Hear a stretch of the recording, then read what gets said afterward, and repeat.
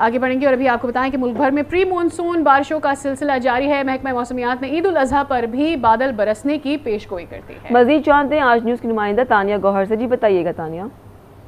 जी बिल्कुल, मुल्क के बालाई और वस्ती इलाकों में प्री मानसून का जो सिलसिला है वो जारी है। महकमे मौसमियात की जानब से आज भी यही पेशन गोई की गई है कि मुल्क के बेशतर मकाम पर जो है वो बादल और सूरज और बादलों की आँख मचोली का सिलसिला जारी रहेगा। ईद उल अजहा पर महकमा मौसमियात की जानब से ये बताया गया है कि प्री मानसून का जो सिलसिला है वो जारी रहेगा, लेकिन जो मुल्क के बालाई इलाके हैं प्री मानसून की जो शिद्दत है उसमें कुछ कमी आएगी। दिन के औकात में हफ्स की कैफियत जो है वो भी जारी रहेगी। इसी के अलावा सिंध और बलोचिस्तान में जो है वो बारिश की तो हैं। कराची में भी जो है वो ईद के दिनों में मौसम जो है वो खुशगवार रहने की तो की जा रही है। गुजशत हमने देखा है कि हीट वेव चली थी। वो हीट वेव का जो है अभी कोई चांसेस नहीं है, लेकिन जो ये हब्स की कैफियत है, वो दिन के वक्त में जो है मैदानी इलाकों में और खसूस जहाँ मौसम साफ़ होगा, वहाँ पर हब्स की कैफियत जो है वो इसी तरह जारी रहेगी। जी।